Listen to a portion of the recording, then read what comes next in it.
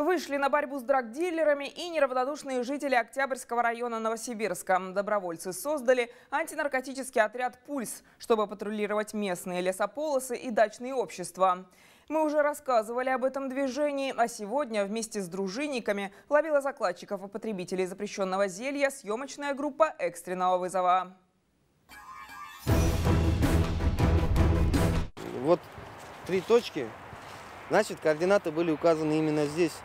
Они не могли найти, и вот они в трех местах вот такие раскопки и делали. Инюшинский бор и лесополоса возле спорткомплекса «Альбатрос» не только излюбленные места для прогулок новосибирцев, живущих в районе педуниверситета. Частенько здесь видят закладчиков, которые устраивают многочисленные тайники.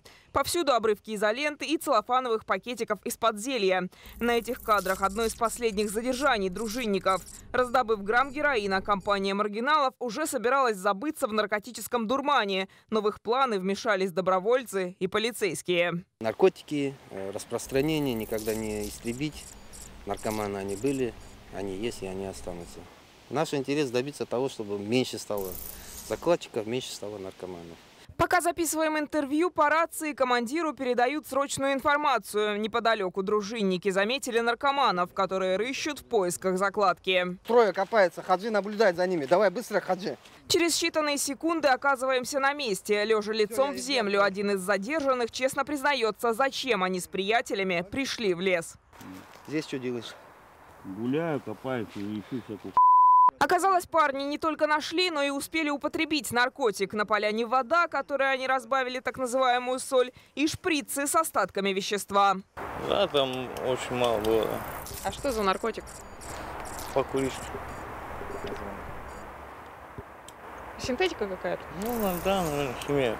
Увы, по закону предъявить этой троице нечего. Дружинники были вынуждены отпустить их во свояси, но напоследок заставили убрать за собой мусор. Стараемся выявлять э, также в лесу, также в СНТ именно самих закладчиков и покупателей, которые ломают заборы, когда забирают закладку.